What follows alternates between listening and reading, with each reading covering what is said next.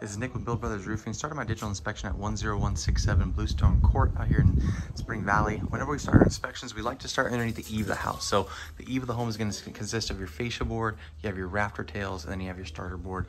And the reason why we like to start underneath the eave is that it gives us a good, good idea about what kind of wood damage we can expect. So we can see all the rotten wood over here. We can see the, uh, the damaged wood from the termites over here as well. We can see the damaged rafter tail as well. So, you know, on this project, there will be a good amount of wood repair. So it's something that the homeowner doesn't need to be aware of because it is always an unknown variable for us. So working my way up to the top of the roof here. We have a concrete S-tile roofing material uh, on the property at the moment. You have this shadow board. I'm not sure if my camera's gonna be able to pick it up, but you can see that it, it has a little uh, uh, overhang to it. So as the water runs underneath these, these tiles, it ends up getting stuck behind this shadow board and that water ends up just sitting there. So I find that on a lot of roofs like this, um, the wood repair can, you know, it can get up there because of the fact that that water really isn't going anywhere and there's going to be a lot of shiplap that needs to be replaced. So we're going to end up just removing all this shadow board, but you can see how it's literally just coming apart.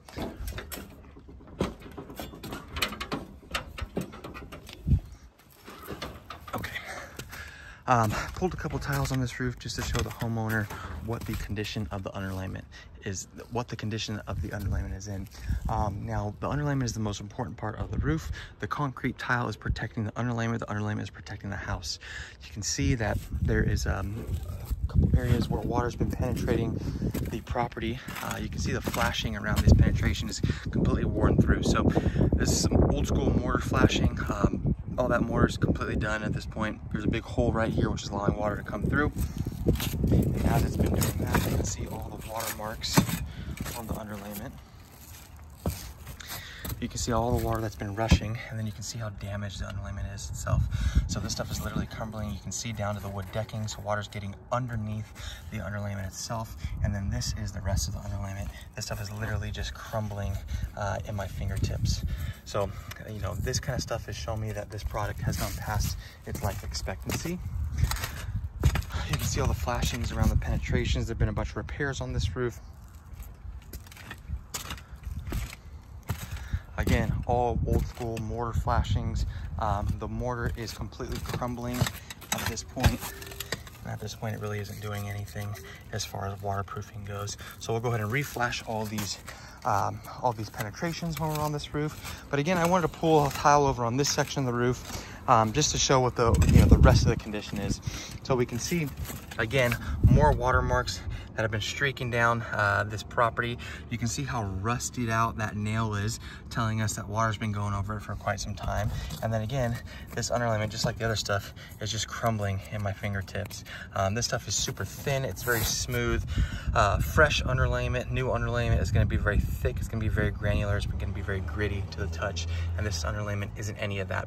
Um, so in my professional opinion, yes, this roof does need to be replaced.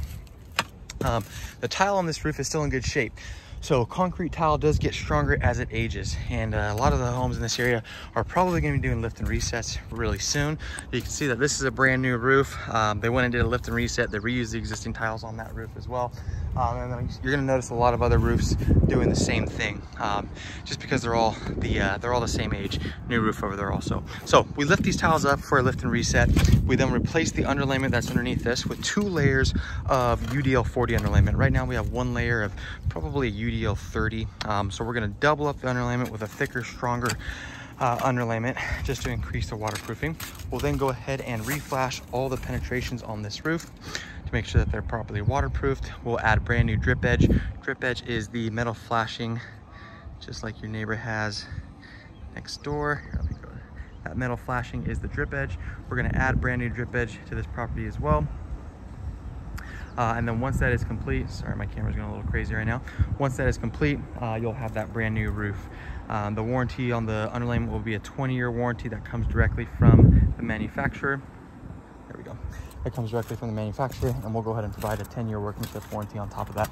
The homeowner also has the opportunity to go with a brand new tile roof if they like, but again, it is not 100% necessary, um, but I will give that option just as well. All new mortar cappings on this roof as well. That's it for my inspection.